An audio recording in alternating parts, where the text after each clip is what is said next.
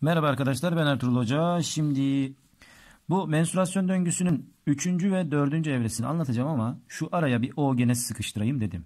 Şimdi niye? Bu video sadece oogenezi anlatacağım. Çünkü oogenezin de öğrenciler tarafından çok anlaşılmadığının kanaatindeyim. Şimdi arkadaşlar hani bu ilk evremiz folikül evresi yani şu ovaryumun içerisinde gerçekleşen şu ovaryumun içerisinde gerçekleşen bu foliküller gelişiyor işte yumurta oogenezini tamamlıyor diyoruz ya. Bu videoda onu açacağız. Menstruasyona devam edeceğiz daha sonra. Bakın şimdi şu bir tane ovaryumun iki tane var sağda solda. Bunun bir tanesini şöyle bir yarıya keselim. Onun içinde ne oluyor şimdi onu konuşacağız. Evet o ovaryumu şöyle bir kestik içine bakıyoruz.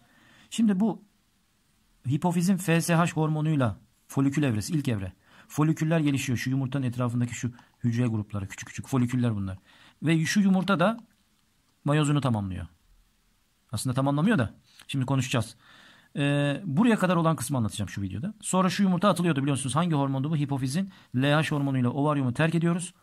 Nerede bekliyor spermi? Fallop tüpünde spermi bekliyordu. Şimdi onu konuşacağız. Ee, bu videoda sadece oogenezi anlatacağım. Dediğim gibi bu korpuslu teomlar, işte menstruasyonlar e, evreyi toparlayacağım. Aşama aşama gidelim. Karmaşa olmasın. Dediğim gibi bu videoda arkadaşlar oogenezi anlatacağım. Oogenez. Oogenez. iki oğla. Yani bir yumurta ana hücresinden yumurta oluşum süreci. İyi dinleyin arkadaşlar. Biraz acayip şeyler var. Şimdi biz e, kız çocuğuyuz. Tamam mı? Anne rahminde yumurtalıklarımız oluştu. Hemen böyle oogonyumlar var. Oogonyum. Yumurta ana hücresi. Hani bizdeki de spermatogonyumdu erkekteki sperm hücresi. İki kromozomludur. Diploittir kendileri. Bunlar sayılarını mitozla çoğaltıyorlar. Böyle binlerce oogonyum e, kızın yumurtalıklarında ovaryumunda bekliyor arkadaşlar. Tamam mı? Sonra bunlar mayoza başlıyor. Mayoza başlıyor. Ve bunlar bakın binlerce var bundan. Mayoza başlıyorlar. Mayoza başlayana birincil oosit diyoruz. Fakat mayoz daha tamamlamadan mayoz 1'in profaz 1'inde bekliyorlar. Şimdi 10. sınıfta mayoza iyi hakim olman lazım. 10. sınıf hücre bölünmeleri. Bakın bu nerede oluyor bu? Anne rahminde. Tamam mı? Embriyonik dönemde. Şimdi e, bir daha söylüyorum. Kız çocuğu anne rahmindeyken yumurtalıklarındaki o her bir oogonyum mayoza başlıyor. O mayoza başlayana birincil oosit diyoruz. O e, mayoz 1'in her bir birincil oosit mayoz 1'in profaz 1'inde bekliyor. Tamam mı? Bekliyoruz. Sonra arkadaşlar sonra şöyle bir çizgi çekiyorum. Bak şimdi iyi dinle. Sonra ergenliğe giriyoruz. Bakın ergenlik. Bak burası böyle. Şimdi her şey hipofizin FSH salgılamasıyla başlıyor demiştim. Bunu geçen videoda folikül evresine başlarken de söylemiştim.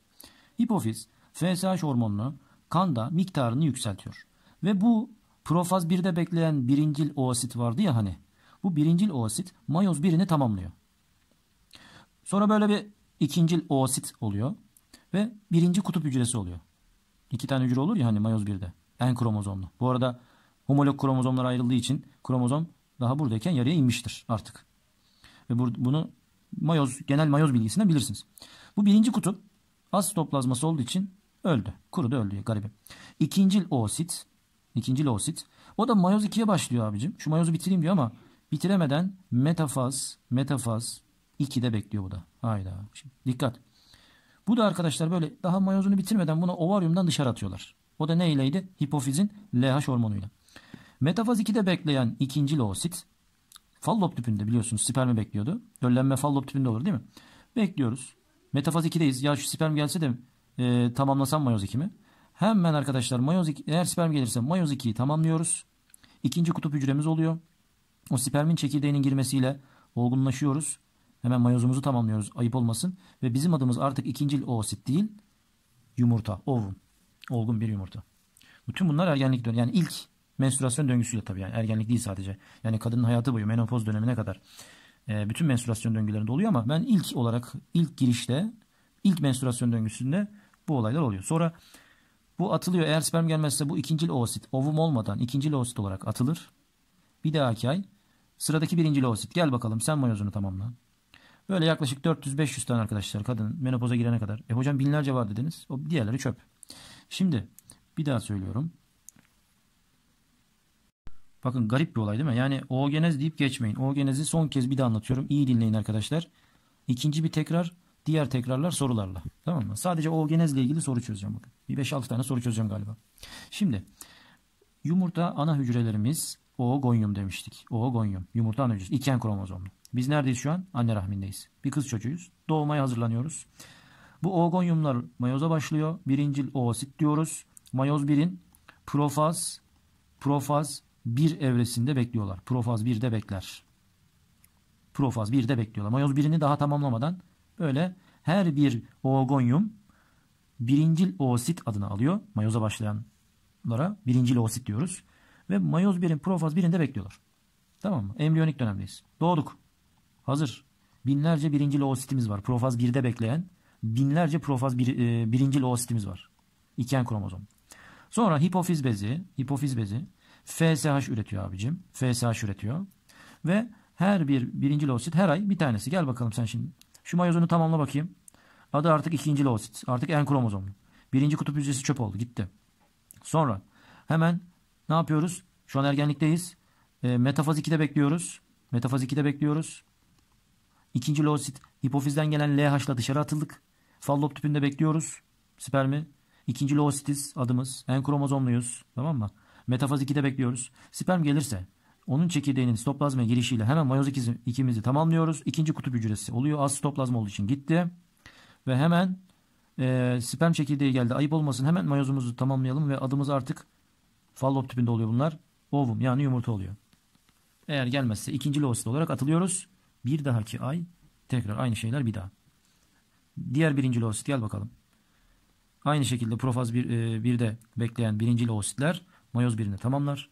İkinci loosit olarak metafaz 2'de bekler bir şekilde ikinci loosit olarak atılır. Şimdi şu ne demek istediğimizi sorularla biraz anlatmaya çalışalım. Bakın oogonyum sayılarını mitozla çoğaltıyorlar ovaryumun içinde.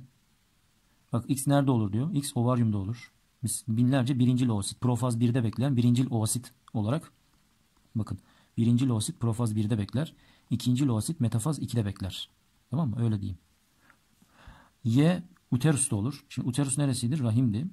Şimdi bu yine bu ikinci oosit olmamız, mayoz birimizi tamamlamamız yine ovaryumdayız. Hala terk etmedik. Ovaryumu ne olarak terk ediyoruz? İkinci oosit olarak terk ediyoruz.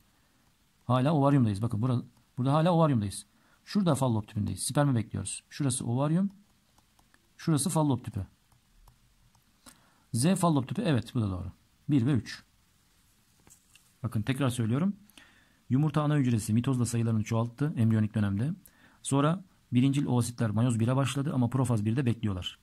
Sonra ergenlik dönemiyle FSH ile folikül evresine gireriz. Menstruasyon başlar artık. Her bir birincil oosit mayoz 1'ini bitirir. İkinci oosit olarak yumurtayı terk, yumurtalığı terk ederiz.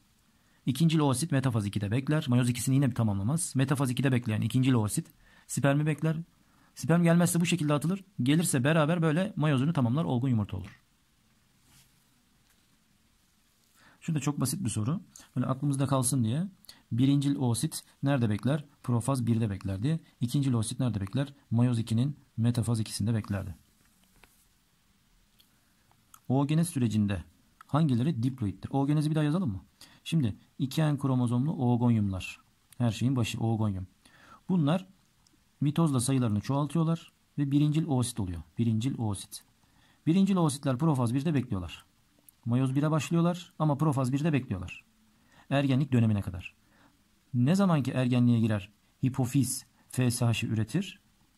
İşte o zaman mayoz 1'i profaz 1'inde bekleyen birincil oositte mayoz 1'ini tamamlar ve haploid ikincil oosit olur. Artık ikincil oositiz. Tabi birinci kutup hücresi olur bir de. Birinci kutup hücresi ölür. Bu da mayoz ikisine başlar ama metafaz 2'de bekler. Yine tamamlamaz. İkincil oosit olarak fallot tüpüne atılır. Şimdi kimler diploid diyor? Diploid neydi? 2N kromozomu demek istiyor. Oogonyum 2N bakın. Birinci oosit 2N.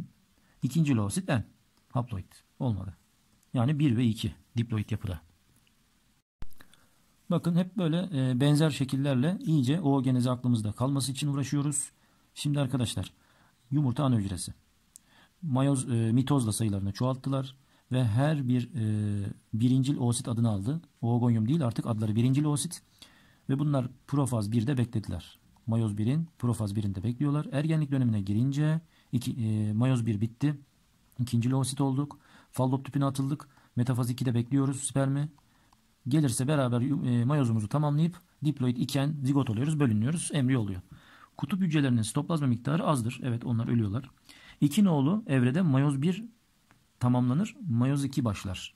Şurada mayoz 1. Değil mi? Burası mitoz. Bura mayoz 1. Bura mayoz 2. Evet burada mayoz 1 biter. Mayoz 2 başlar. Bu da doğru söylüyor. Doğru doğru. 3 nolu evrenin olması için sperm olması lazım. Evet sperm gelirse olgun yumurta oluruz demiştim. 2 nolu bölünmede diploid olur diyor. 2 nolu da haploid oluruz değil mi? Bakın 2N, olgonyum 2N. Birinci loosit 2N. Mayoz 1 bitince artık enis. N, N, N. Hep enis. Yalan söylüyor. 1 nolu bölünme embriyonik dönemde. Şurası embriyona. 2 ve 3 burası ergenlikte değil mi?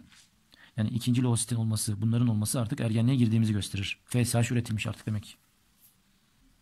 Bu şekilde Palme'den hep aynı şekilde sorular bulmaya çalıştım. İyice oogeniz otursun diye. Bakın burada da bize ne olduğunu yazmış. Oogonyum neydi? 2N değil mi? Birinci loosit 2N. Bunlar artık hep N değil mi? N, N, N. Bunlar hep N artık. Haploid. Şimdi bakın olayımız neydi? Ee, embriyonik dönemde yumurtalıklarımızda biz bir kız çocuğuyuz. Yumurtalıklarımız oluştu. Oogonyumlarımız mitozla sayılarını çoğalttı. Birinci loositlerimiz mayoza başladı ama profaz 1'de bekledi. Ta ki ergenliğe kadar. Ergenlikte her bir birinci loosit bir tanesi sırayla. Binlerce var. Her ay bir tanesi. Birinci loosit. Bu ay sıra sende. Hadi mayozunu tamamla. Tamamladım. İkinci loosit oldum. Mayoz 2'mi de tamamlayayım mı? Tamamlama. Yarıda bırak. Metafaz 2'de bırak. Ve çık artık avaryumdan. Çıktım. Fallop tüpünde spermi bekliyorum. Gelirse yumurta oluyorum. Beraber döllenip gidiyoruz. Gelmezse ikinci loosit. Metafaz 2'de bekleyen ikinci loosit olarak e, rahimden, servisten, vaginadan atılıyorum. Dişi bireylerde yumurta oluşumunu vermiş bize. 3 nolu evre sonunda oluşan hücreler haploiddir. Bakıyorum, bakıyorum, bakıyorum. 3 nolu evre sonu. Evet bak hep haploid. Doğru. 4'ün sonunda oluşanlardan sadece biri. 4'ün sonundakilerden sadece biri döllenir değil mi? Sadece bu adama sperm gelir. Spermi bu adam döller. Sadece oogenez sürecinde bir yumurta oluşur ve biri döllenir. Şayet sperm gelirse tabii. Bir nolu evre embriyonik dönemde olur. Bakın hep söylüyoruz. Şurası embriyonik dönem. Bunlar oluşuyor. Profaz 1'de bekliyorlar. Ergenliğe kadar. Şuradan sonra ergenliğe girdiğimizi gösterir. İki nolu da kardeş kromatit. Bu 10. sınıf bilgisi. Kardeş kromatit ayrılması ne demek? Mayoz 2'de olur. Burası neydi? Mayoz 1'di değil mi? Bakın burası mitoz. Burası mayoz 1. Burası mayoz 2. Yani kardeş kromatit ayrılması mayoz 1'de olmaz. Burada homolog kromozom ayrılması olur. Bunu 10. sınıfta mayoz konusundan bilmen lazım. Doğru olanları soruyor 1, 2, 3. Evet biraz da yorum yapalım ve bitirelim. Burada mutasyonu sormuş. Bir mutasyonun kalıtsal olması için üreme ana hücrelerinde olması lazım. Şimdi süt bezinde, rahimde yani bunlar vücut. Kol bacak gibi düşün yani rahim demesine, ovaryum demesine takılma.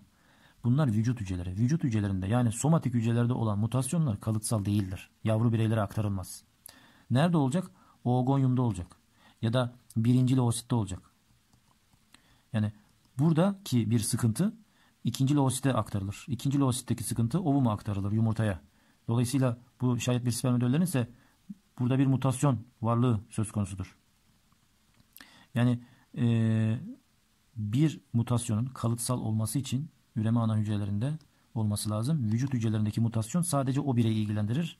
Nesilden nesile geçmez. Kalıtsal olma ihtimali olması için üreme hücrelerinde olması lazım. Heh, bu da şayet olmayabilir kalıtsal. Çünkü döllenme olmayabilir. Ama olma ihtimali vardır. 3 ve 4. Evet bu videoda oogenezi anlatmaya çalıştım arkadaşlar. Oogenez biraz karışık olduğu için böyle ona bir video ayırayım dedim.